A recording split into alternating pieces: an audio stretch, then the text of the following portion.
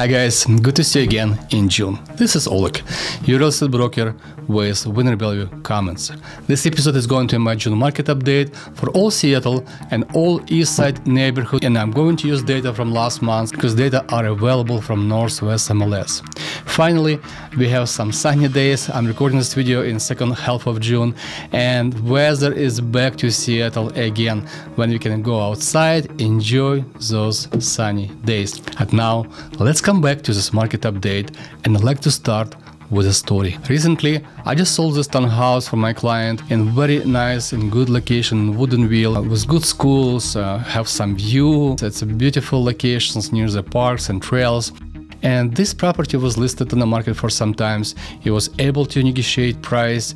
Uh, we negotiate $15,000 from the price and also we negotiate second time after home inspection. Clients got really good deal. That tells me guys buyers can still find good deals on the market even with this high mortgage interest rate.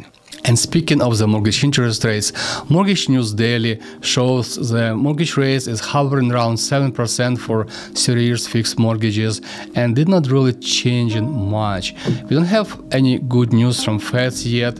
Uh, we got promised to drop interest rate this year three to two times, but apparently uh, Feds did not reduce rates and mortgage rates stay the same. But now nobody knows when rates going to be decreased, but we hope for that and uh, if that's going to be happen a lot of people going to be able to refinance property and drop this very high mortgage interest payment We'll start with months of supply of inventory.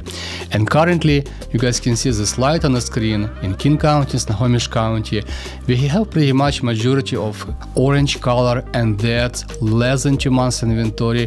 That means we in a seller's market in those locations.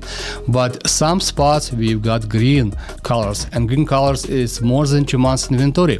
And more than two months inventory currently we have in West Bellevue, in Vashon Island, South Seattle, and southeast of Seattle. Those locations have a lot of listings on the market right now, and inventory is more than two months to sell those properties. I will start with Seattle East Side neighborhoods and then we're going to be moving to review Seattle locations. And East Side means all those city east from Lake Washington combining together like Bothell, Kirkland, Redmond, Issaquah, Sammamish, Woodinville, Mercer Island, all those cities together considered east side locations. And currently in east side locations, medium close sale price is 1,699,975 dollars. Almost one million seven hundred thousand dollars. Price increase comparable to last year for 17% and currently in the market we have only one month supply supply of inventory. If you review data comparable to the highest price when we have in April 2022 in Seattle East Side. The medium close sale price was $1,722,000. Currently in June we have almost same price. So basically we're back to the same price, highest price we saw in Seattle East Side two years ago. And this is good news for the sellers because if somebody want to sell right now, you guys going to be able to get the top dollar for your house. 58% of all sellers sold property inside above asking price and they sold it 8% above asking price. This is a huge number. That's about $136,000 above asking price. 14% homes sold at asking price and 17% homes sold below asking price. And people who negotiate price, they negotiate around 3% below asking price. 85% homes in Seattle East Side selling less than 15 days on the market and 7% selling with 30 days on the market.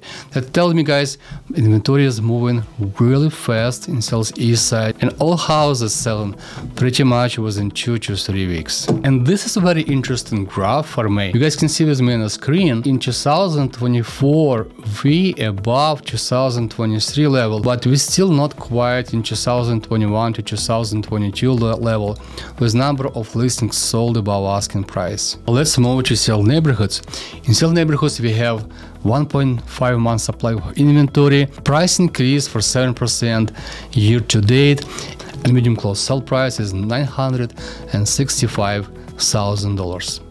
In Seattle neighborhoods, market a little bit cooler comparable to East Side market. As you guys can see with me on the screen, 44% homes selling above asking price, 24% homes selling at asking price, and 15% homes selling below asking price. Very similar to sales East Side, people who compete with another buyer pay 8% above asking price, and people who negotiate price, they negotiate for about 3% below asking price. 76% homes in Seattle neighborhoods selling less than 15 days on the market and 9% homes selling within 30 days on the market. Inventory is moving very fast in Seattle. This slide shows number of listings all about asking price. And this year you guys can see with me on the screen. We have a higher number than last year 2023 but number of listings all about asking price is less uh, this year comparable to 2021 and 2022 levels Seattle medium close sale price up for 7% year to date, but currently market seasonally slowing down in Seattle and this is related directly to affordability. Comparable to Seattle, sales east side market is really hot right now with record high medium close sell price almost $1,700,000 and record high mortgage payment for the property. Can you imagine people who buying homes right now with 20% down payment with this mortgage interest rate? They pay approximately $11,000 a month. This is pretty big number and we never see this before. But with that, 58% homes selling above asking price. We have strong demand on the housing market and I'm expect uh, with the seasonality demand will be slowing down because a lot of buyers in August going to be leave town for vacation to catch those sunny days, uh, last days before kids go to school. Uh, they're gonna take vacations and a lot of people going to leave the town. This time is maybe good for other buyers to buy because will be more inventory in the market and this time will be slower market there right now. Mortgage rate I think is going to be stay until November. Nothing's going to be changed because Feds don't have to change it. If we can have more inventory in August and September in the market and mortgage rate will drop in November for example, then that's going to be help real estate market again to move and we're going to see very hot winter this year with a lot of demand for real estate from the buyers. With that guys, if you guys need any help, reach out to me. I would love to be your real estate resource. Regardless if you're looking to buy house or sell house, you can use my expertise in this local market. I'm work here for 24 years. I know every street, every corner. I'm connected with a lot of contractors and can help you to achieve your goals in 2024 and hopefully in 2025. You see my number on the screen, please call me and let's have a conversation about your needs. With that guys, have a fantastic week until next time.